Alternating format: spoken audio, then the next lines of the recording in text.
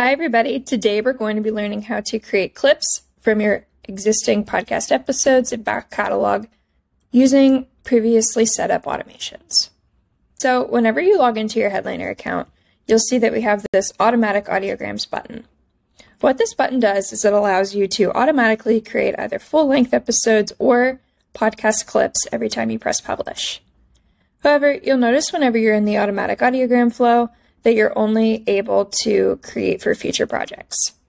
However, Headliner does have a feature that allows you to create clips from your back catalog and existing podcast episodes.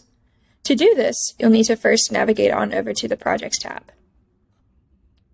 Then, you'll need to select the podcast that you want to create clips from using podcasts that you've already claimed and have existing automations for. You'll know if you have an automation by looking on over in this left-hand column.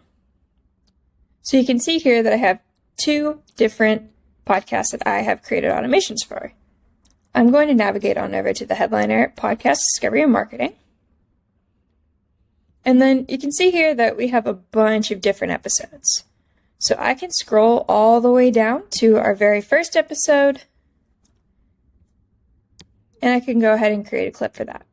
We can see here that I already have a clip though. I'm going to go ahead and create a clip for a podcast episode that we already don't have any clips for. To do this, you'll just need to go ahead and locate the episode that you want to create for. So you can see here that this episode, There Are No More Excuses, Let's Get Your Podcast on YouTube, does not have any clips or videos available to me. To remedy this, you'll just need to simply hover over that episode and click New Video. You'll then be presented with two different options. The first, to create a video manually, or the second, and easier one in my opinion, is to go ahead and let Headliner's AI create that video for you. Once you select that, you'll just need to go ahead and select from the list of existing automations that you already have. Or you could go ahead and create a new one from scratch. I'm going to make it a little bit easier for myself though and go ahead and click on a template I've already created. It is important to note that if you do have an automation that does automatically auto post to any social platforms, that will affect the new video. So just be mindful of where your content may be posting ahead of time. And then once you've clicked the create your new video, you can see that Headliner is getting to work and it's going ahead and it's processing that video for me.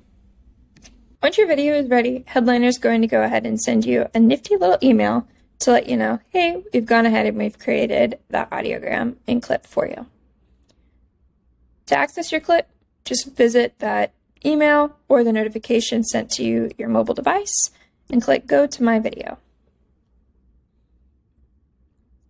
From here, then you'll see that we've already gone ahead and we've automatically created the audiogram and selected a clip for you. To use this clip, you can publish to any of the major social media and podcasting platforms, or you can also go ahead and download that video. Once you have that video on your computer, you can do a myriad of things with it.